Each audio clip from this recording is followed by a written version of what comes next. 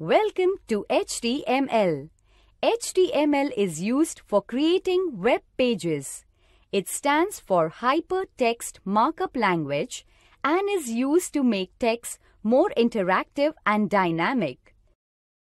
To create an HTML file, click on the Start button and click on All Apps. Then, expand Windows Accessories. Now, click on Notepad. A blank Notepad file appears. Type the code shown on the screen in the Notepad file.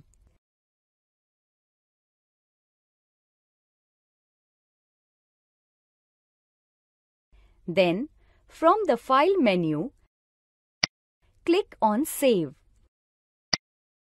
The Save As dialog box appears.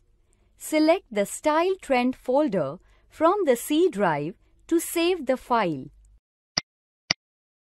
In the File name box, enter welcome.html.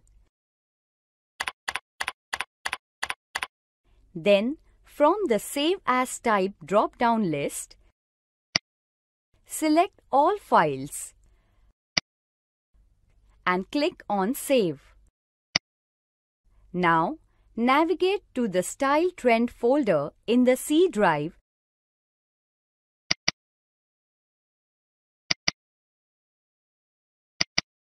and double-click on the welcome.html file. The output of the file appears.